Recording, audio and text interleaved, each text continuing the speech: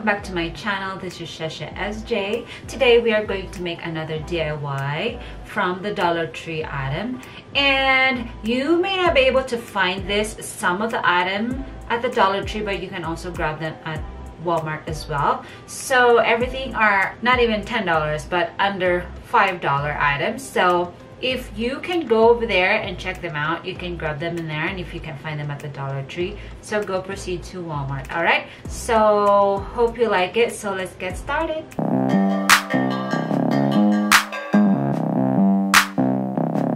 All right you won't believe what we are going to use today. We are going to use this all right? Not actually this one. Not this bottom. Make sure when you are going to use this make sure it's new or somehow it's clean or please make sure it's new.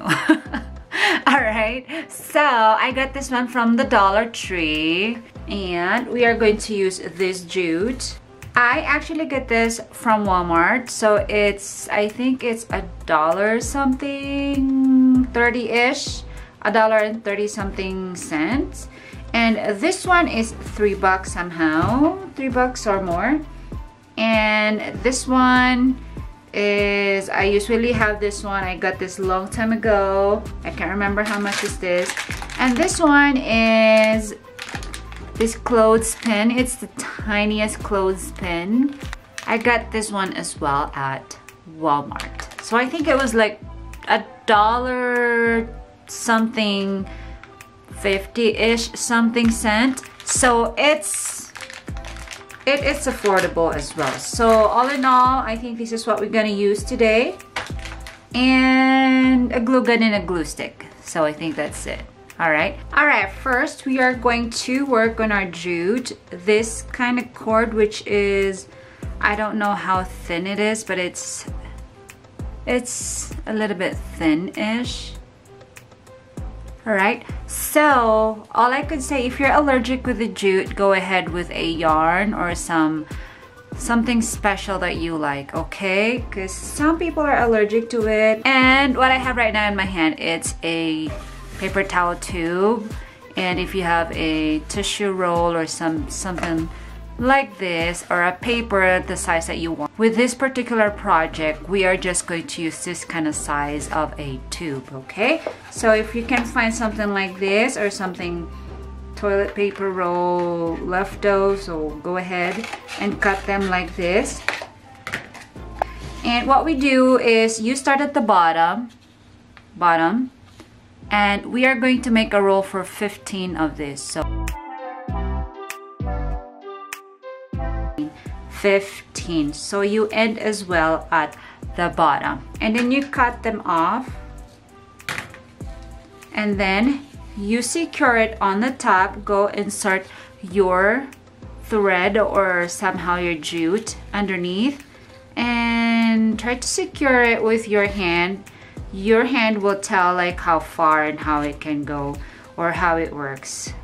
Right? And then you just have to tie them with a regular knot I double knot it and then you cut them off. It doesn't matter how long you want it, but that's how we want it. And then after that, you pull it out. Once you pull it out, you cut this bottom area of that jute. So you just cut it. All right. So once you cut it, see the one that you just tied up in there? You are going to tie like almost like that like right on the neck okay? Not on the neck but just like that. And then you tie them with a knot as well. I double knot it so double knot.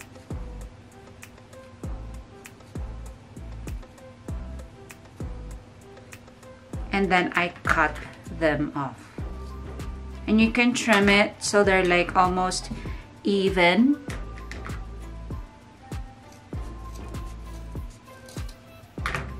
Okay. And there you go. It should look like this. All right look like that. And you are going to have 10 of these. Okay so 10 of these. All right, next we are going to use this bigger, the bigger jute one size, which is this kind of size. Almost like the size half of my pinky. Okay, now we are going to cut this, three of this for a 30 inches, okay? So 30, this, my mat is measured as 24 from here to here, but in this edge right here, that could be 24, 25, and then this side is 26. So 24, 25, 26. So 26, this is 26. I'll just measure 26. So this is here is 26, 27, 28, 29, 30. So I stop down here, right here. And I'm going to cut three of this, okay? So 30, this is 30. Right. So these is 30. And we need one of 30, okay? Only one of this and you can grab a tape tape the end of this one so you are not going to be chasing this one I just tape it down all right and then if you have a this one then you can also use this as a clip. Okay and so you know the distance of your jute let me try and figure this one out. Make sure that this is the right one. Okay so I just have to cut this right here. All right so then I'm going to start braiding this one okay all right so if you have uh, some kind of like heavy kind of book or a clipboard somehow like that you can also use that but this one is I'm just gonna use right now because it's what I have. So I'm just going to clip that at the end of my book and I can start braiding them, okay? So I'm going to braid now.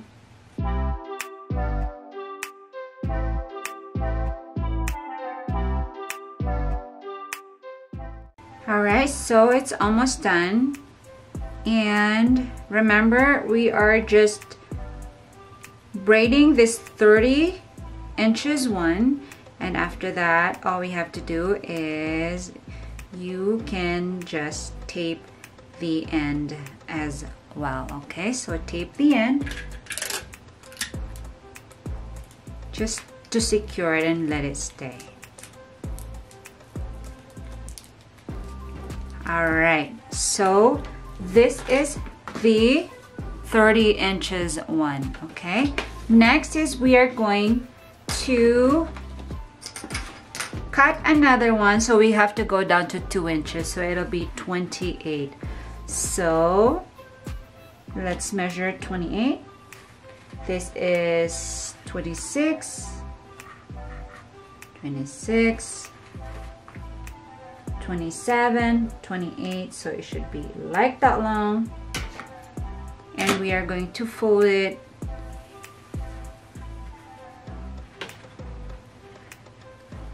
Cut 3 of 28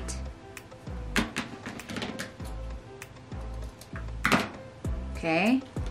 And we can tape the end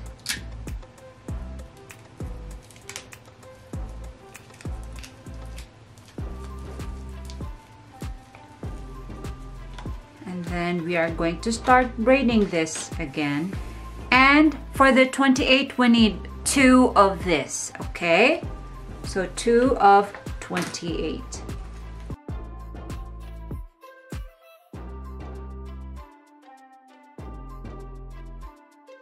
All right, next is going to be 26 inches. All right, so this mat is 26. So I'm going to cut three again. One, two, and three. All right.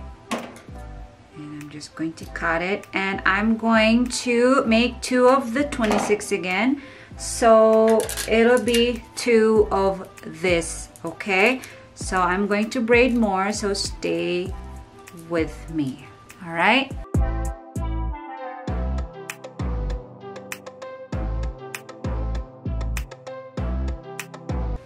All right, so next after 30, 28, 26, we are going to cut 24 inches, okay?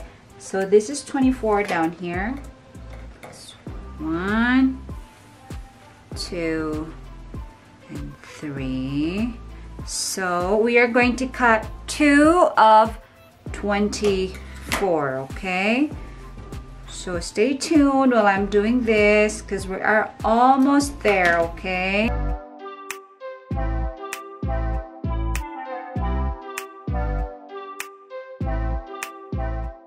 All right, so we have all this done. So we have the 30 inches one that we just braided, two of 28, two of 26, and two of 24.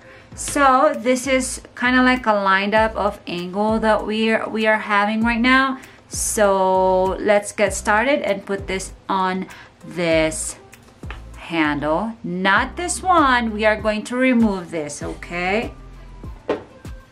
And you can remove this as well if you want to. The easier one to remove this is when you hair dry it.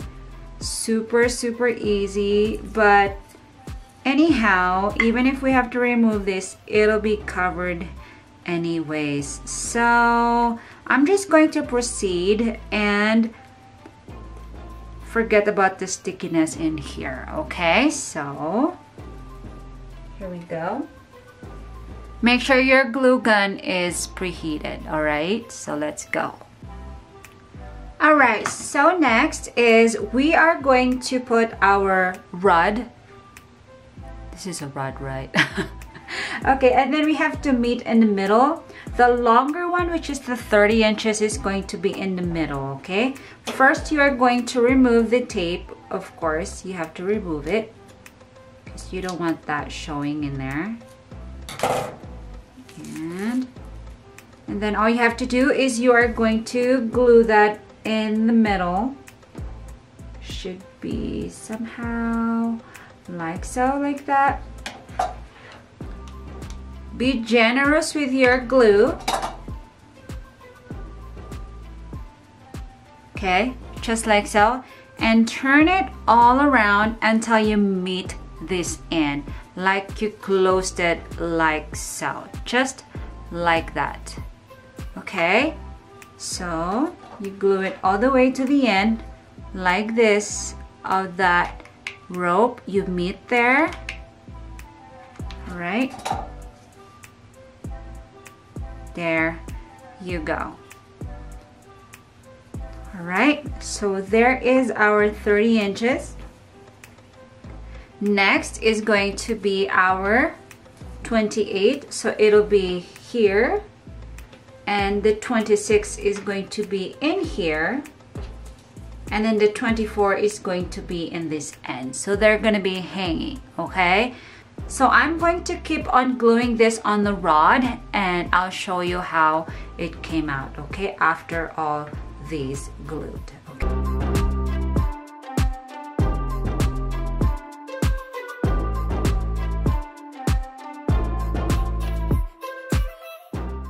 Alright, so as you can see guys, so you don't get confused, always make a mark where to start on your rope, like when you start it, like so so then you know it's even when you're done all right and then I also make a mark two inches apart all right so I'm going to keep this one going all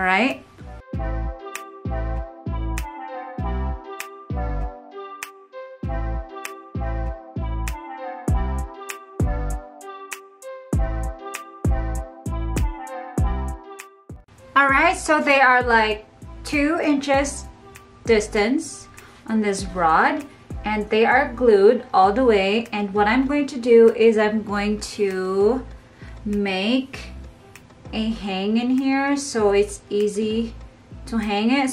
Alright so I have this size of a jute. It's almost like the medium size because I have this size and then the smaller one that we used earlier. So what I did is I cut a 35 inches of this jute and all I have to do is I have to I want to tie this one down here on this end just a regular knot. And if you knew the distance of your rope for using to hook on it you can just cut it if you want to if it's too long for you you can just cut it or trim it down. And this is what I want like that long right there to hook on. Right? So once you know the distance of the rope that you want then you can secure it with a glue. We are going to start covering this with this jute now. So all we have to do is we are going to cover this up. I start at the bottom so it's not showing. All right. So I will start at the bottom and you just have to cover this around with a jute all over okay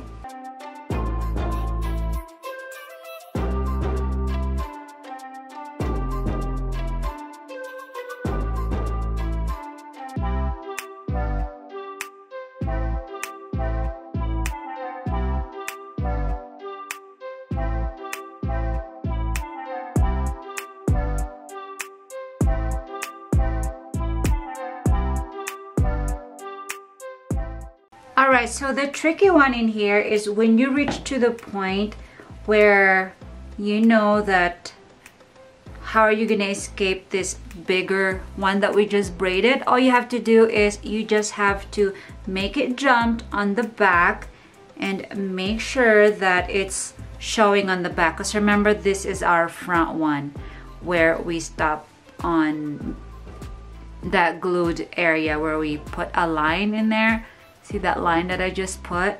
So make sure you jumped out on the way back. I'll show you how right at the moment. Like you just cross over to that area, cross that line right there on the back, like what I did on that first one as well. I jumped on the back. You just keep on going and keep on covering this whole rod with a jute.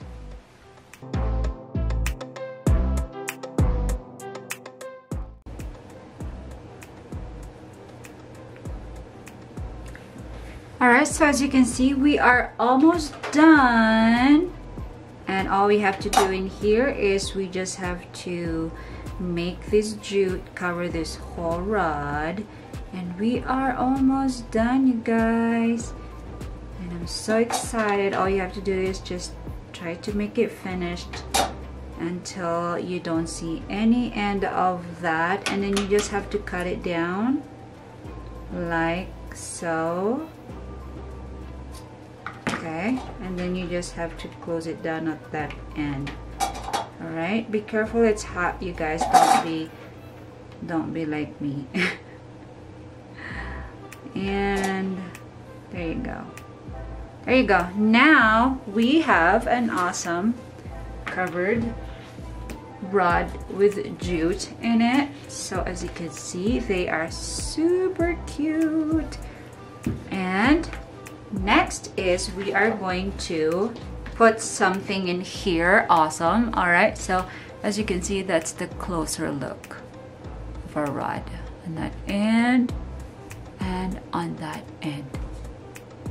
Isn't beautiful? All right, next is we are going to attach this rope that we just cut individually with this kind of style. So we are going to attach this down here. But first, to be able to be more secured, I want this one to be glued on this braided jute. And I am going to tie it as well so it's even more secured so what I did is you're going to have at least this crochet tool so I'm going to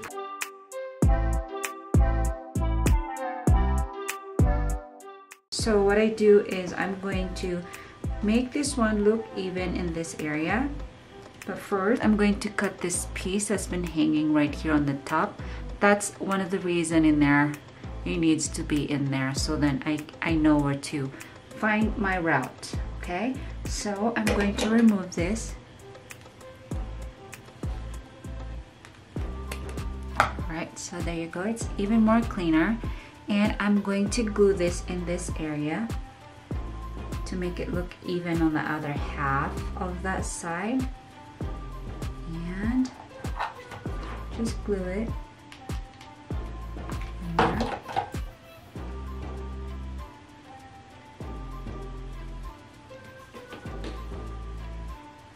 so then I'm just going to tie it with a knot in it, okay? Go back, tie everything down, and just a simple knot. Just two knots in there, like so.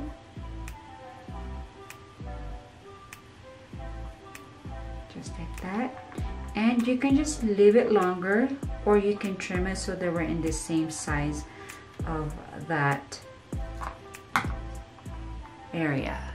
So they're like almost the same size of that little spot okay? So then I'm going to put the other half below it the same way. I'm going to I already did the others okay? So I'm just going to remove the top.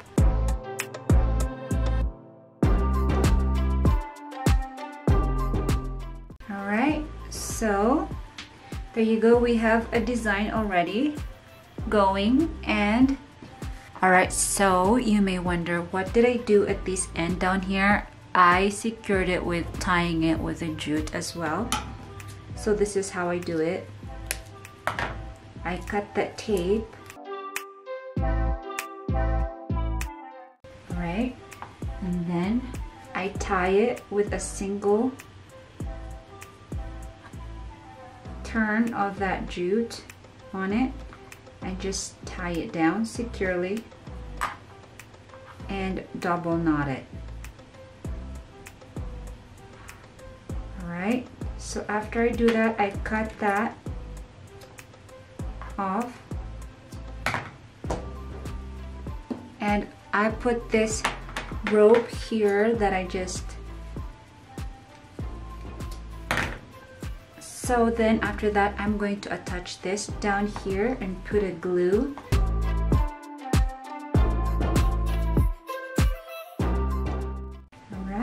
so there you go. All right we are almost done. So next is i'm going to each of this rope that has something like this i am going to put a bling bling on it. So i'm going to use my bling bling and it should look like that.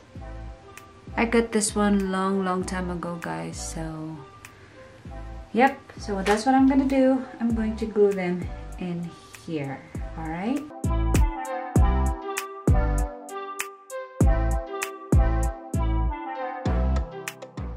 Alright, so they are all having a bling bling already. Now we are going to put our clothes pin, alright? So what I'm trying to aim in here is I'm going to put the clothespin down here. So what I'm going to do is this one is going to hold some cards on it, so it should be looking like that, like how it holds the card. Or just leave it like that. And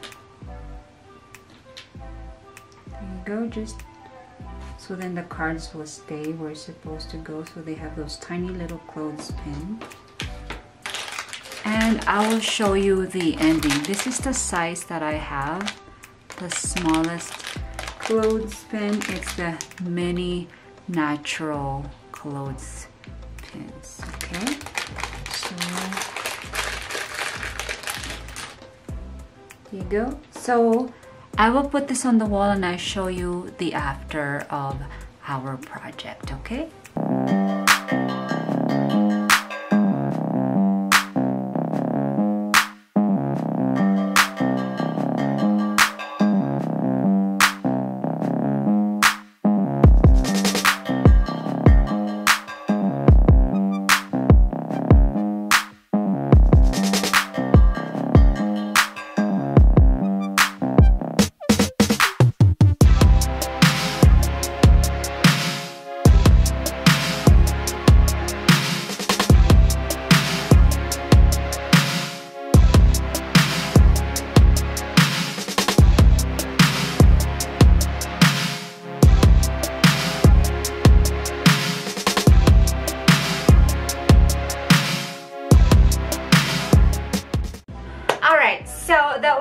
Project that we just made today and that was super awesome and cool. I really like it. You can put any pictures in there or cards that you receive for um, Christmas or that could be an awesome present to your family and friends.